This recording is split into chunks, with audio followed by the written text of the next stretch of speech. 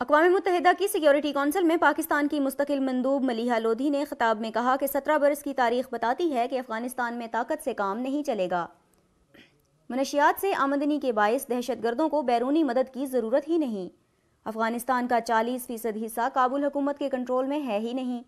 ऐसे में तकरीबकारी के लिए बैरूनी मदद की क्या ज़रूरत होगी?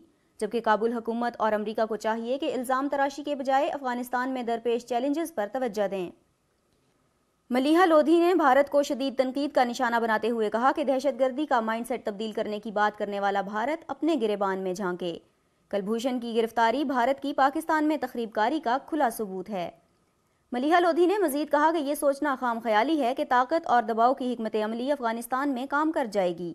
दहशत गर्दों की पनागाहें अफ़गानिस्तान से बाहर तस्वुर करने वाले हक़ का जायज़ा लें, जबकि पाकिस्तान तालिबान पर ज़ोर देता है कि तशद का रास्ता छोड़कर मुजाकर में शामिल हो जाएँ।